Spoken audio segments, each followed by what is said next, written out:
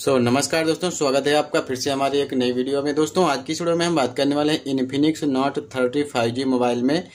Instagram पर lock कैसे लगाया जाएगा? दोस्तों, यहाँ पे देख सकते हो, अभी हमारे मोबाइल के इंस्टाग्राम में कोई भी लॉक नहीं है, लेकिन दोस्तों लाइव प्रूफ यहाँ पे आपको इंस्टाग्राम पर लॉक लगा के दिखाऊँगा। तो दोस्तों इंस्टाग्राम पर लॉक लगाने के लिए आपको करना है आपके मोबाइल में एक अपलीकेशन है फ़ोन मास्टर इस पर क्लिक करना इस पर क्लिक करने के बाद दोस्तों, आपके सामने इस तरह का इंटरफेस शो हो जाएगा। अब यहाँ पे आपको थोड़ा सा नीचे आ जाना तो आपको यहाँ पे ऐप लॉक पे क्लिक करना इस पर क्लिक करने के बाद आपको यहाँ पे जो आपको पैटर्न बना है, वो पैटर्न यहाँ पे डाल देना है। कंफर्म करना सेम वही पैटर्न अब दोस्तों, यहाँ पे आपको आंसर में आपको कुछ भी डाल देना है। डालने के बाद डन पे क्लिक कर देना है। अब दोस्तों आपको यहाँ से अपना इंस्टाग्राम देख लेना है जहाँ कहीं भी रहे। तो दोस्तों यहाँ पे हमारा ये रहा इंस्टाग्राम इसके सामने लोग है, इसके सामने लोग पे क्लिक कर इसे क्लिक कर दोगे, ये लोग जो है वो बंद हो जाएगा तो सक्सेसफुली आपका इंस्टाग्राम लॉक हो जाएगा, आपको स्क्रीन पे दिखा देते हैं। दोस्तों यहाँ पे ये रहा इंस्टाग्राम इस पर क्लिक किया तो दोस्तों देख सकते हो कि हमारा इंस्टाग्राम लॉक हो चुका है।